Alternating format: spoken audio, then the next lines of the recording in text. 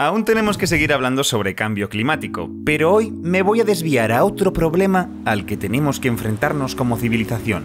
Veréis, según un estudio reciente, el top 5 desperdicios más comunes en las costas a nivel mundial son las colillas, los envoltorios de plástico, las pajitas y agitadores de plástico, los cubiertos de plástico y las botellas de plástico. Vaya, ¿veis el patrón? Está claro, si analizamos de qué está hecha esta basuraleza, el plástico es el rey.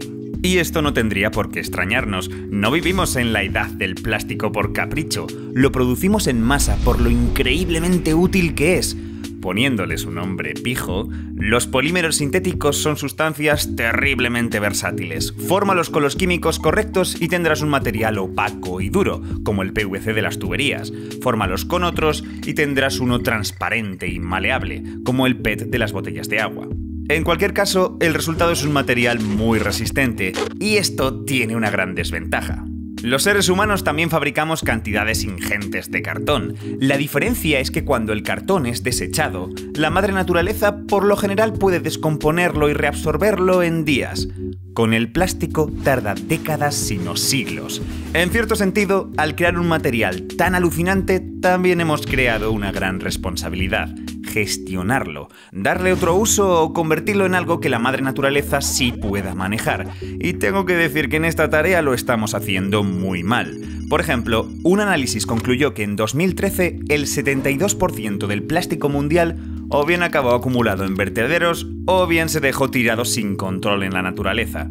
El 14% se incineró, lo cual como que fatal para el cambio climático, y el otro 14% se recicló, pero no todo se hizo adecuadamente. Se estimó que el 4% se perdió en el proceso, que el 8% se convirtió en plástico pero de peor categoría y que solo el 2% se recicló correctamente. 2 de 100.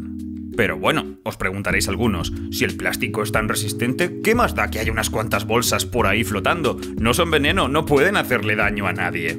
Ah, bueno, dejando a un lado todos los casos de animales que fallecen por la ingestión de plástico, o los incidentes en los que enormes cantidades de bolsas de plástico han taponado el drenaje de algunas ciudades contribuyendo a inundaciones, incluso olvidando que la descomposición del plástico estimula la actividad de algunos microorganismos, hay consecuencias aún más sutiles.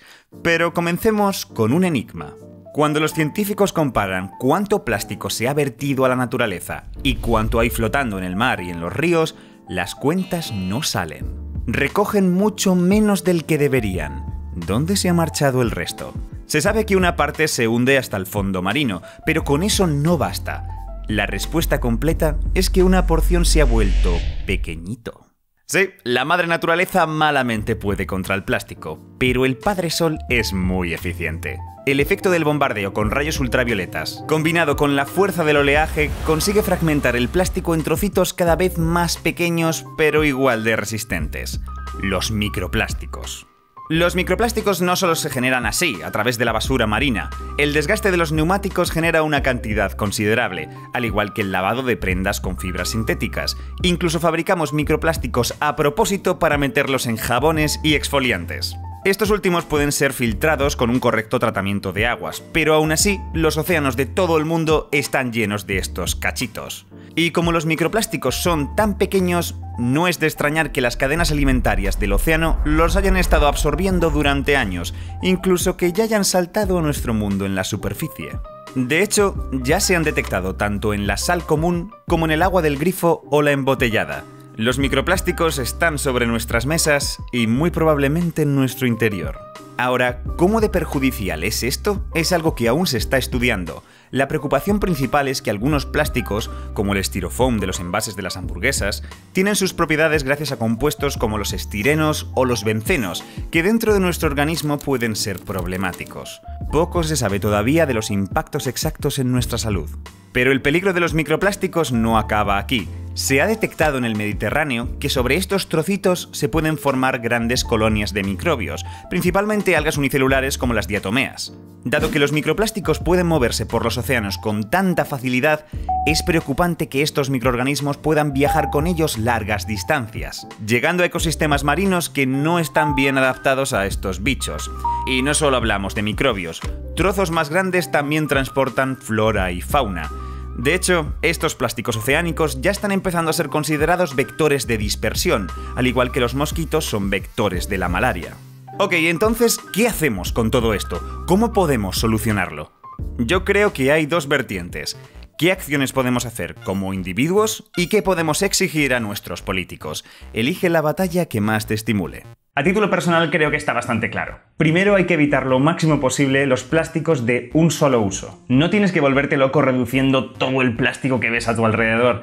De hecho, el dispositivo con el que me estás viendo seguramente tenga componentes de plástico que hoy en día no sabemos sustituir. Me refiero a cosas como envoltorios innecesarios o vasos de plástico que tiras rápidamente a la basura. Más de un tercio de toda la producción de plástico va a ellos, así que es un buen lugar donde empezar a cambiar las cosas. Segundo, si ya tienes algo de plástico, reutilízalo, dale otro uso. Aún así, tampoco hay que volverse locos. Se sabe que algunos productos de plástico no pueden reutilizarse indefinidamente, que podrían desgastarse y ser dañinos. Lo más razonable es comprar cosas de plástico que sabes que van a tener una vida útil muy larga y no que vas a tirarlos en cuestión de minutos. Lo que me lleva al tercero. Si tienes que desprenderte de algo de plástico, por favor, recíclalo, déjalo en el sitio correcto para que lo traten. De lo contrario, o bien acabará en un vertedero descomponiéndose, o bien acabará como basuraleza, perturbando ecosistemas y esperando lentamente a que las corrientes lo lleven al mar y acabe fragmentado en microplásticos. Pero estas acciones individuales tienen que estar acompañadas de un sistema en todos los países que nos facilite el reciclado y que sea eficiente. Esto es lo que tenemos que pedir a nuestros líderes. Ahora, ¿cómo podemos llegar hasta ahí? ¿Basta con disponer de contenedores distintos y tener la educación como para saber separar la basura? ¿O es necesario proponer nuevos métodos? Esto lo veremos en detalle en un próximo vídeo. Pero si queréis saber más sobre el problema de los plásticos, cómo impactan en la naturaleza y qué podemos hacer para arreglar todo esto, os invito a que vengáis al evento organizado por el Proyecto Libera, las charlas contra la basuraleza. Estaremos Juan Luis Cano de Goma Espuma, Pilar Zorzo, la presidenta de la Asociación Española de Basuras Marinas, y un servidor hablando un poco de este tema. Sabiendo los que estamos, estoy seguro que será muy entretenido. Además, tenemos gira. Estaremos en Madrid, en Zaragoza y en Barcelona en sus respectivos Caixa Forums. Si os interesa, os dejo en la descripción un link en el que tenéis más información y podréis pillar entradas. Son gratuitas. Muchas gracias al proyecto Libera de SEO Verlife y Ecoembes por contar conmigo y patrocinar este vídeo. Y ya sabes, si quieres más ciencia solo tienes que suscribirte. Y gracias por verme.